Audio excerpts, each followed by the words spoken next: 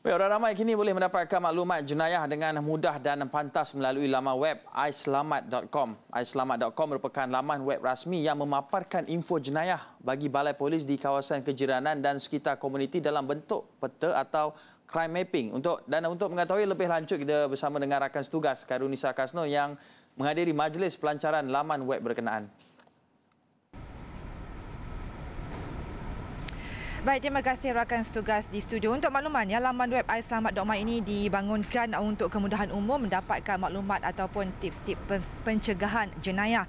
Dan antara maklumat-maklumat penting yang boleh didapati, maklumat-maklumat penting keselamatan yang boleh didapati melalui laman web ini ialah nombor telefon balai polis dan anggota polis serta nombor telefon persatuan penduduk, rukun tetangga, jawatan kuasa perwakilan penduduk dan semua ini boleh didapati untuk uh, membolehkan pihak berkuasa mempercepatkan respon dan juga uh, tindakan.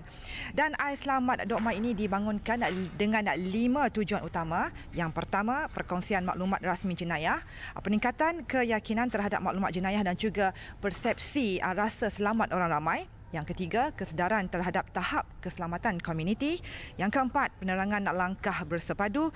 Serta yang kelima, peningkatan perhubungan antara komuniti dan juga pihak penguasa keselamatan.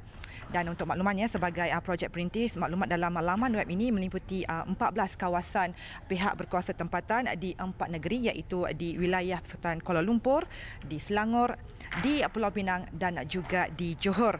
Dan untuk perancangan pada masa hadapan, uh, ia akan iSelamat.my ini akan diperluaskan kepada 10 buah negeri dan 18 PBT pada tahun depan. Sekian dulu laporan untuk jam ini. Saya akan bawakan laporan penuh dalam Buletin Awani yang seterusnya kembali kepada anda di studio. Terima kasih rakan setugas Karunisa Kasun di atas laporan mengenai pelancaran laman web islamat.com.